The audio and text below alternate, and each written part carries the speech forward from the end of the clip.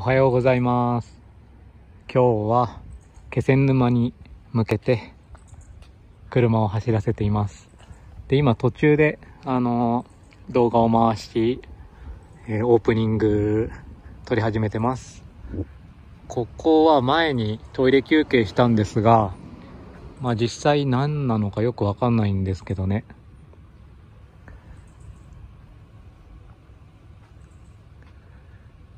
明治鮮血公園って書いてありますね。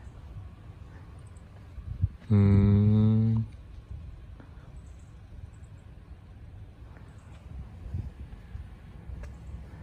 まあ、こっから気仙沼に向けてスタートします。で、いろいろね、今日は自分の思ってることを動画にしたりするのを撮りながら、まあ別撮りでね、このまあ、気仙沼旅行とは別に撮りながら行きたいと思ってます。よかったら見てください。よろしくお願いします。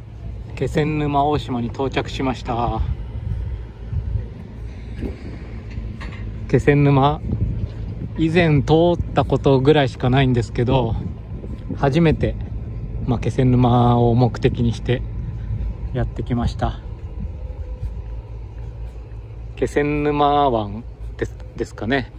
なんか新しくできたのかな？橋を渡ってきました。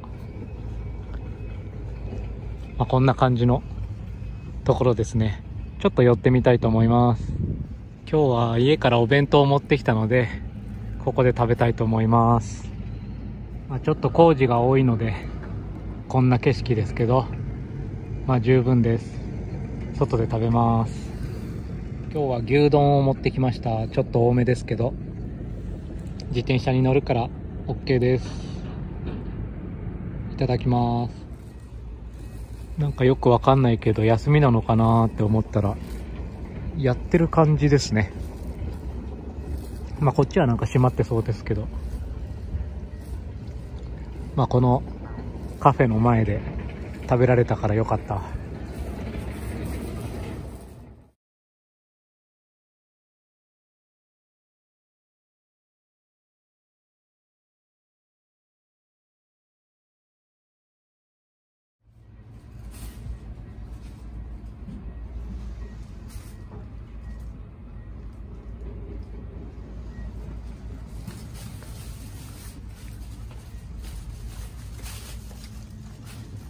さっきはそこでご飯食べました。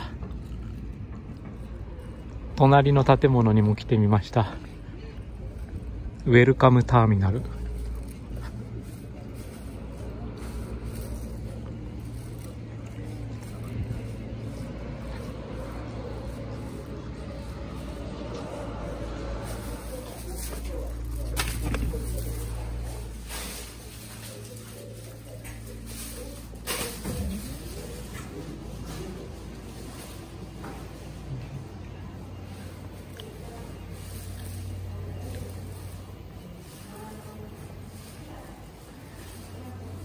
なるほど。多目的ホールとあこっから外出られるんですね。さっきのところに。出られますね。へえここで休めるのはいいですね。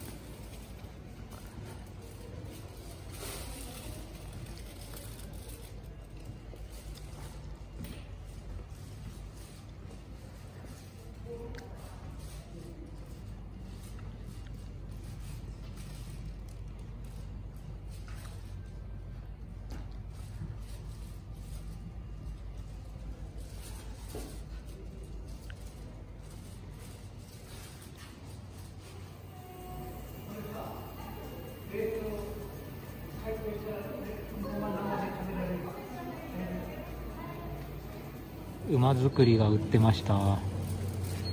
これ本当おすすめです。私のよく行く石の、えー、石田酒店にも、まあ、親戚なんで置いてあるんですけどあのすごくいいです。昔から馬作り使ってます。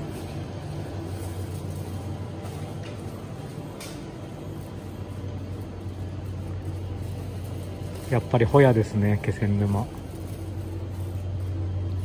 観光案内いただいたんでちょっと見てから回りたいと思います。すごいですね。うちの車の隣に自転車積んだキャンピングカーが止まってます。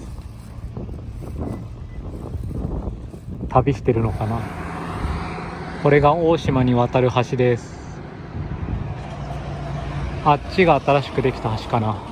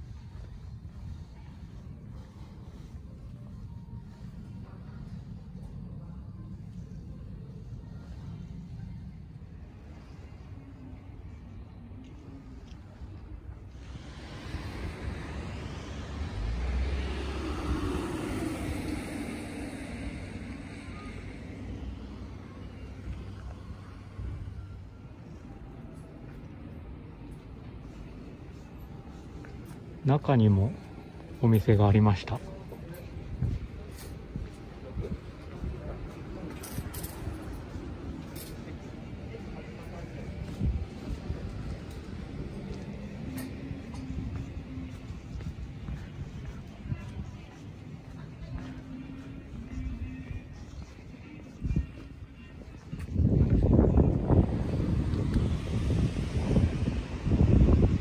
気仙沼駅に到着しました。